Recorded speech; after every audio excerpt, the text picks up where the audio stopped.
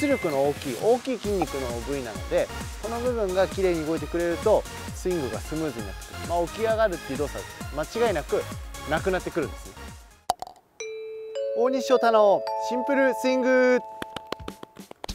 皆さんこんにちは。ツアープロコーチの大西翔太です。シンプルスイングとは悪い動きを削ぎ落としてより効率よく美しくそしてシンプルにスイングを作っていくコーナーになっております。今回のテーマは状態が浮く原因って何？になっております。やっぱりどうしてもアマチュアの方々に多い動きはバックスイングしてでダウンスイングから伸び上がってしまってまさにトップ。で逆に伸び上がってしまってそこからちょっとさらに沈み込んでダフったりというもうトップダフりが一番出てしまう原因がこの伸び上がりですね。でこの伸び上がる一番多い原因としてはこのアドレスしますね。でインパクトの時にお尻が流れてしまう動きなんですね。お尻が流れることによって詰まってバランスを崩して浮いてしまう。もしくはお尻が動いてしまってちょっとこう詰まった状態のままインパクトしてしまう。これでダフってしまうという。お尻に原因が大きくあります。なぜかと言いますと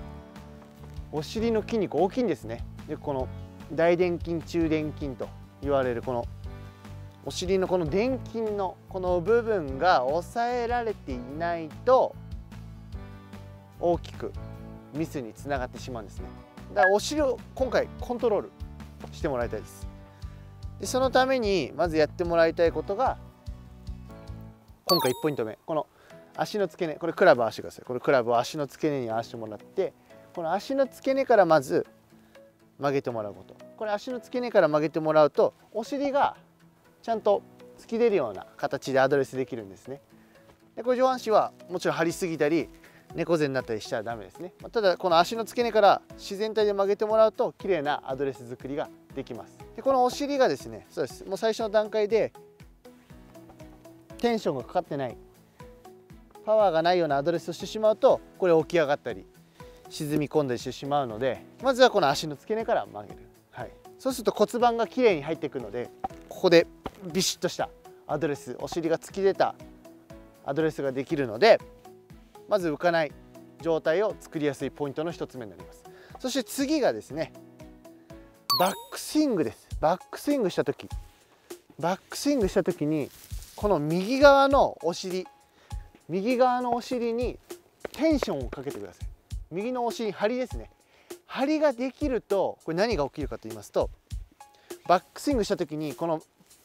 パワーがお尻にたまるんですね。ここにパワーが宿ってくれるとダウンスイング以降浮かなくなるんです。なぜかと言いますとしっかり懐ができるんですね。お尻にしっかりバックスイングでテンションがかかると懐ができる。このスイングの通り道ができるんで浮いたり沈んだりっていう動作が減るんですね。なのでこのお尻です。はい。このバックスイングした時にお尻に張りを持たせる。テンションを持たせる。バックスイングした時のパワーをお尻に宿らせるような形をとってください。これができないとできないままバックスイングが当たるしてしまうと全部スウェーします。スウェー。そしてボールがきれいに当たっても弱いボールが出てしまいますね。パワーがうまく伝達されないのでこのお尻がしっかりこの確保されるとスウェーもしないのでダウンスイングでもしっかりと前傾角をキープそのままの状態でできる。それを踏まえて打っていきたいと思います。このアドレスした段階で足の付け根から曲げて骨盤をしっかり入った状態を作りそしてですねお尻にこのテンション。お尻にテンションをかけることによってお尻にテンションをかけることによって浮かない状態のまま打つことができる。そうすると、まあ、この出力の大きいパワーの大きいお尻がしっかりと確保されているので起き上がるはずがないんですね。もうこのパワーが大きいところをうまくコントロールできればスイング中に悪い動きエラーは出づらくなるんですね。ちょっと僕から質問なんですけれど、えー、テイクバックでこう右に出力出力とか右にのお尻に張りを作るって分かったんですけど、はい、そこからどうこう左に移行していけばいいんですかね？左のまたお尻にテンションかけるようなイメージで動かしていくって感じなんですかそうですね。イメージとしてはですねお尻を常にこう後ろ側に保つってことですね。バックスイングでは右側のお尻が後ろ側に来る。ダウンスイングでは左のお尻側が後ろに来る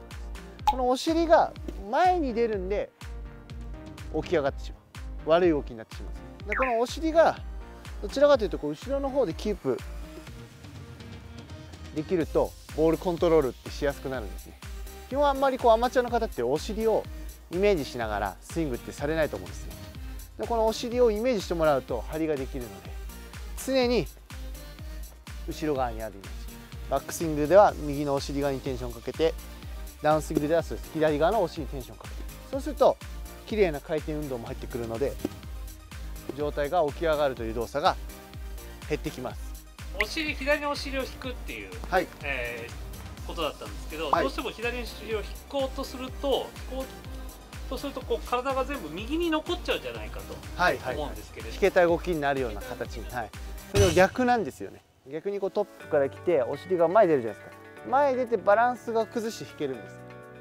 はい、で逆にお尻がこう前に来てしまう人ほど引ける。後ろに保っておけば保っておくほど腰は引けないですしお尻が悪さをしない、はい、でこう出力の大きい大きい筋肉の部位なのでこの部分がきれいに動いてくれるとスイングがスムーズになってくる、まあ、起き上がるっていう動作間違いなくなくなってくるんですね。でも本当イメージとしてはバックスイングした時にこのまず右のポケットをこう後ろに引っ張られてる人あの引っ張られてるイメージですね。誰かに引っ張られてるイメージでバックスイングする。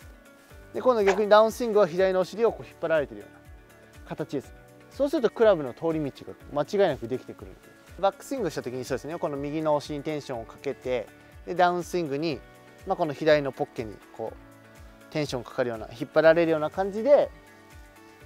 インパクトを迎えていきたいんですけれども、まあ、このイメージしづらい人はこれ左のポッケに左手を入れてもらってでこれで引っ張ってください自分で。引っ張って。そうするとお尻の使い方がイメージしやすくなるのでこのお尻がきれいに動いてくると下半身もきれいな体重移動きれいな足の動き作ることができますね。このお尻ですね。このお尻を自分のポケットを後ろに真後ろに真後ろに引っ張る。これが間違っても前に出ちゃダメです。前に。前に出ると一つもいいことないです。でこれ実際にボールを打ってみてください。片手でいいです。軽くでいいのでバックスイングして後ろに引っ張る。これ押すのではなくて押すのではなくて引っ張る。引っ張る。押すのではなくて引っ張る。お尻を引っ張ってあげると通り道ができるので引っ張りますね。この状態で引っ張るとスイングが綺麗にスムーズな状態を作ることができるんですね。とにかくこの起き上がる原因は一番はお尻にあるということです。このお尻が逆にこう後ろ側にポケットが引っ張られるような形。そうすると自然とテンションかかってくるので。でもこの状態のこの位置は変えないでください。状態の位置は変えないけれどお尻はしっかりテンションかかってくると。前に出ないように常にお尻は後ろ側にキープしてそして前傾角度は変わらないようにスイングしてあげると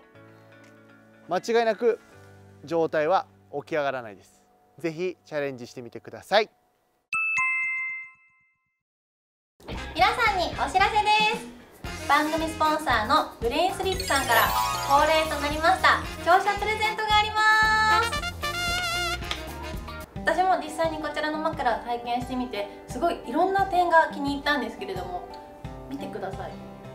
こっちがちょっと低くなっててこっちが高くなってるんですね。なんか日によって今日は高いめの枕で寝たいなとか低めの枕で寝たいなっていう日ってあると思うんですけど自分の頭になんかフィットする感じで寝れるので寝つきがすごいいいなっていう風に感じました。最高の眠りを生み出すフィット感と通気性の秘密はこの素材。水で洗えるのでいつでも清潔にお使いいただけます。このタイミングで枕を新しくしてみてはいかがでしょうか。ぜひ皆さんにもこちらの枕の寝心地体験してみていただきたいです。この枕の詳しい情報とプレゼントご希望の方は概要欄の方から応募してみてください。では次回の動画もお楽しみに。ご視聴ありがとうございました。チャンネル登録はこちら。おすすめ動画はこちら。また見てください。